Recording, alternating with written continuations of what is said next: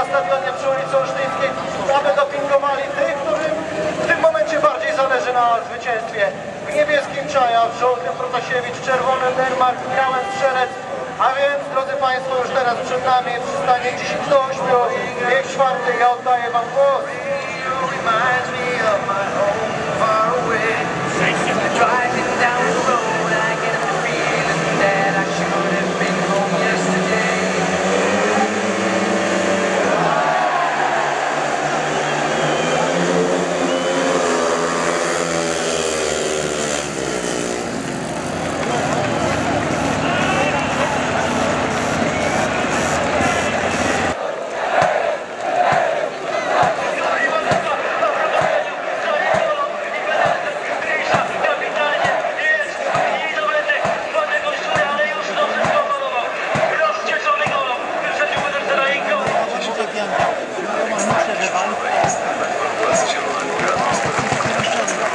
Czarna flaga i e, żółty, żółte oznaczenie symbolizujące kask oznacza, że zawodnik jadący w kasku żółtym zostaje wykluczony, ale oczywiście wielki szacun, ten, który miał być rezerwowym i już jako pierwszy ustawia się pod taśmą startową.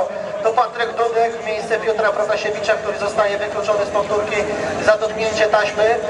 Ale i niecodzienna sytuacja, bo akurat Daniel Nermak jest jedynym zawodnikiem, który jak do tej pory nie zaliczył żadnego startu e, w tych dzisiejszych zawodach. Pozostała trójka juniorów, która go będzie otaczać. Już ma, na swoim koncie ma zdobyte punkty. Rafał Malczewski. Przepraszam, to Artur Czaja oczywiście na razie bez punktu, ale Adam Strzelec i Patryk Dudek mają na swoim koncie punkty, tak więc doskonała okazja do rewanżu właśnie po tym wyścigu pomiędzy parą juniorską i Arturem Czają. No oczywiście w składzie jest również Daniel Nermark. A więc oficjalnie w kasku niebieskim Artur Czaja, w kasku żółtym Patryk Dudek, niebieskim, czerwonym Daniel Nermark i białym Adam Strzelec. To obsada wyścigu czwartego.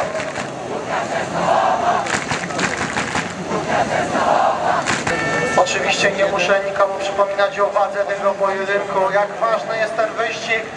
Już za te 30 sekund liczę na każdego z Państwa, na każdego kibica gospodarzy i ka każdego kibica gości, że będziecie dopingować jak tylko potraficie najładniej i najmocniej swoich zawodników.